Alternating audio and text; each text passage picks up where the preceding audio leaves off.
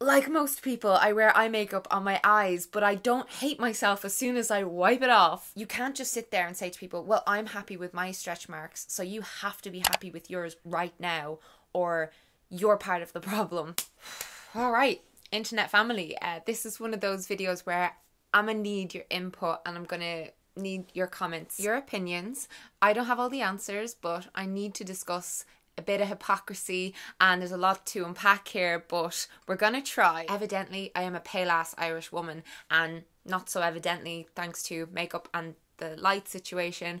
I am covered in acne scars. I have keratosis pilaris on my legs. I have some sexy purple bruising on my legs. I have a lot of stretch marks. I have that kind of pasty Irish skin, you know. If you follow me, it goes without saying that I love makeup, but I feel comfortable enough to leave the house without it most days of the week, which I share regularly on Instagram stories and the like. And, you know, I usually don't bother with fake tan, but I indulge on occasion and I would never judge anyone for enjoying being more tan looking. It would seem that us humans often want what we don't have. And yeah, in my time, I have dabbled with body makeup, usually the Dermablend body makeup. I don't even know if that's on sale anymore. I just have a big old bottle of it there. And I also have a huge purple mark on my left leg and the doctors don't really know what it's from. They said it's not dangerous, it's not a birthmark. I think it's extremely important to embrace your flaws. I know that I have this big purple mark on my leg, but the society that we live in, I just feel better when it's covered up and I don't have to kind of focus on it. So enter Kim Kardashian's new body makeup. So guys, I have gone through gallons and gallons and gallons of body makeup on Kim over the years, but let me show you quickly um, how we do body makeup on her. I don't want shimmer on my legs all the time. And when I go out, and sometimes I just want to cover up, like if I have a bruise or my psoriasis or whatever. Admittedly, she is not one of my favourite people, far from it. I've called her out in the past on her slimming lollipop bullshit.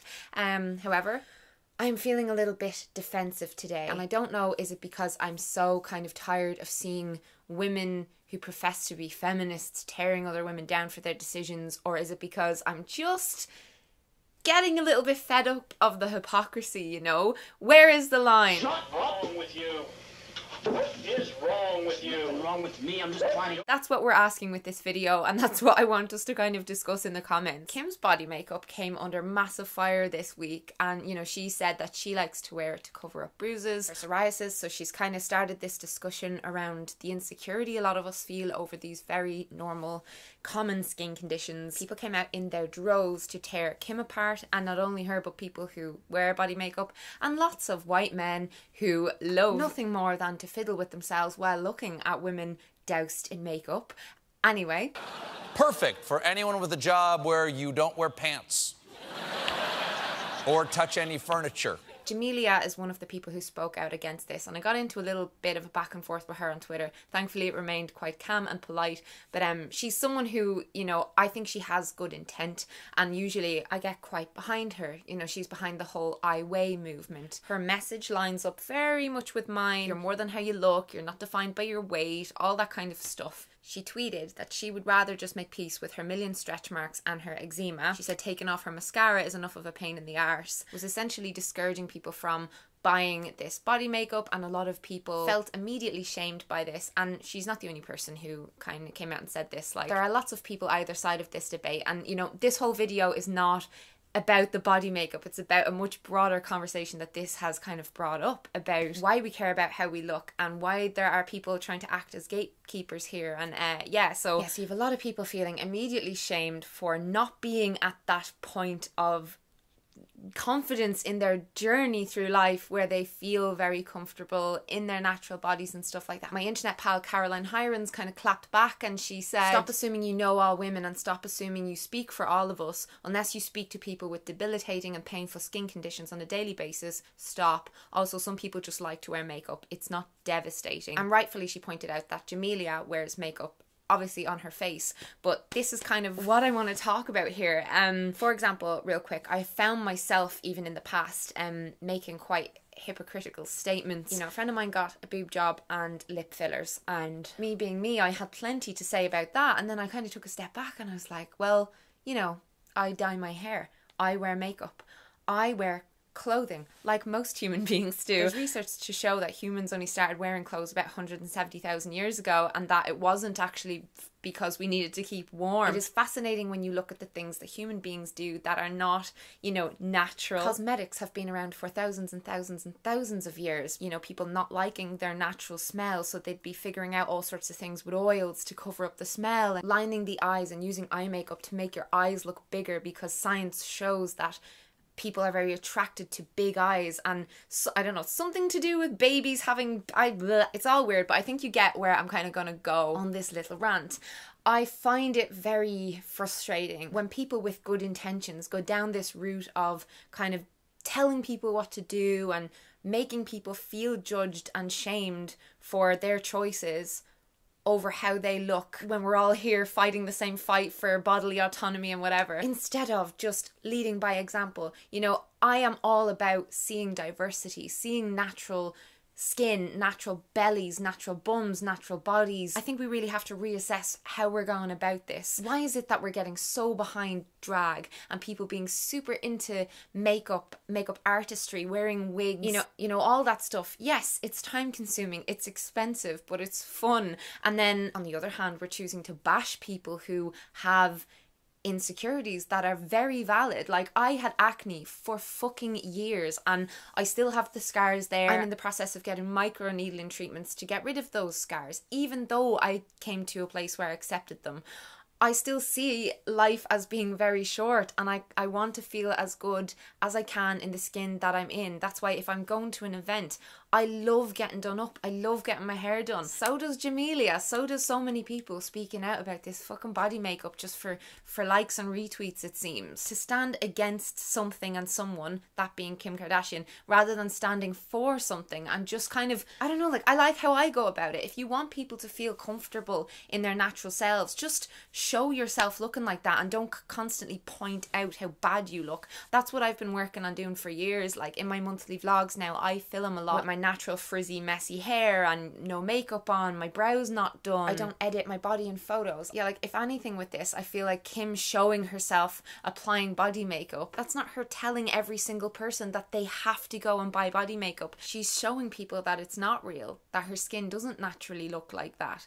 Um and i do think that's a good thing the more that young people understand how much of a construct someone like kim is um, the less they're going to have that comparison. Do you know what I mean? Like, there are a million one options of things that people can spend their money on out there that proclaim to enhance their beauty and their confidence and whatever. And we need to let individuals make their own choices, make their own mistakes, and figure out where their line is because your line is not the same for everyone else. You can't profess to have walked in everyone's shoes. Let's take baldness as an example, you know. Um so many men are so ashamed of their hair receding and they're going getting hair transplants and wearing wigs and all this kind of stuff and then you know if women go through cancer treatment and they go bald they'll often go and get a wig the reason they're doing that is because of how society views baldness but you know does that mean that they're wrong to go and do that? I don't fucking think so. I know loads of people who have thinning hair and they go and they get um hair extensions to make their hair thicker and and it, it does put them in a better mood it makes them feel better about themselves like i i would never ever say to them oh you don't need to do that of course they don't but they might want to i think there's two main reasons why people who wear makeup wear makeup and those are to enhance and you know seduction falls under that and we're not even going to go into the fact that there's loads of studies to state that people who are perceived to be attractive and healthy and blah blah blah blah blah do better in life from dating to jobs to criminal trials and this is regardless of ethnicity as well like all these research papers are available on the internet um, I find it somewhat hilarious and very annoying when someone as beautiful as Jameela can kind of just, I don't know, forget her privilege. Maybe another reason people wear makeup is camouflage and it can help people with their social anxiety. This is where I would agree with Team Jameela, like camp fuck Kim Kardashian. I think it is extremely important that we do teach young people and just people in general to accept certain truths about themselves and to not necessarily despise themselves for stuff that's out of their control. But again, I don't think the best way to do that is to tell people oh, you shouldn't wear this because it's a waste of money. You should just be happy with yourself. Like when I was a teenager with acne, no one in the world could have offered me any sum of money or any prize to leave the house without makeup because that's just how I felt. I felt like all those spots shouldn't be on my face and you know they were not natural. They were caused by hormonal imbalance lactose allergy you know they were painful. They were really annoying. And over the years i've realized that the knowledge that like 80% of people will experience acne in their lifetimes that doesn't really help someone in the throes of it because they have to kind of come to that place of self-love themselves. They have to go through all that and learn about societal pressures and whatnot. But um another thing is that when it comes to something like clear skin I don't think that's all just society telling us, oh, that's beautiful. That's a beautiful thing to have. Like you should want that. You should do anything to have that. Like I, I don't believe that. Not only because I am a bisexual woman, and I notice when someone has like really smooth, gorgeous skin, lovely, lovely skin. I've never met anyone who would look at gorgeous skin and go, ugh. Human beings are drawn to certain things, and they've shown this through scientific studies. Facial symmetry, massive eyes, thick, glossy hair, and yes, the beauty industry is kind of built on these things, but you have to go back and look at the history of like how we came to where we're at now. Look at trends around the world in different tribes and look at how people, you know, like when it comes to like mate selection and anything, like even the way we react to babies. I was holding my cousin's gorgeous newborn baby the other the other day and was just stroking her smooth face and just thinking about how beautiful her face was. And we have to acknowledge the fact that there is a reason why we all collectively can come together and agree that this person is objectively very attractive, even if they're not our type. You know, even if we see beauty in a lot of different places, even if, like me, you are so behind seeing people of all shapes and sizes, and people with saggy boobs, and people with vitiligo, and just real human beings being represented everywhere. I want that. I think that is helping and will continue to help people to feel more at peace with their bodies and their faces and stuff the way that they naturally are. But at the same time, if someone wants to dye their grey hairs, let them. Just because you don't want to dye your grey hair doesn't mean that you're better than these other people or you're more enlightened. People need to get off their high horses with this stuff. You can't just sit there and say to people, Well, I'm happy with my stretch marks, so you have to be happy with yours right now, or you're part of the problem. By all means, normalize stretch marks. Every time I see someone doing that, I am I am the first one to be clapping my hands. But at the same time, I know people who, for example, have just given birth or have piled on weight because of depression and have stretch marks that they are not yet comfortable with. And it is not okay to just expect everyone to be in the same place as you are when it comes to their self image. And it's just a very big, complicated grey debate. There's no black and white here, and I it just annoys me. I think when people kind of package their opinion up as the the only non-problematic opinion. When you look at why people wear blush, why people wear red lipstick, so much of that is rooted in science, and like I don't think it's a bad thing for someone to want to look their best and to be perceived in a certain way. We're human beings and it's really fucking cool if you don't buy into any of this stuff. I don't know, it just kind of blows my mind that that people can be so lacking in empathy for others. We are in a place now that when people open up about their flaws and insecurities, those people are celebrated and they get the claps and stuff like that. And then there's also all the other people who will bully them and say mean things. But you know, I do think we are moving forward. However, yeah, there's no set line. A lot of people who are very wrapped up in social justice issues right now, they just love to come at someone and to demonize them. They love to sharpen those pitchforks, but then those same people will be super like, yes, queen, if a man, you know, comes out wearing makeup because it's like against gender norms or whatever. But then, you know, when a woman wears makeup on her face or her body, guess what? They're the same fucking thing. Um, but yeah, and then it's like, you think you're a feminist, but you're wearing makeup.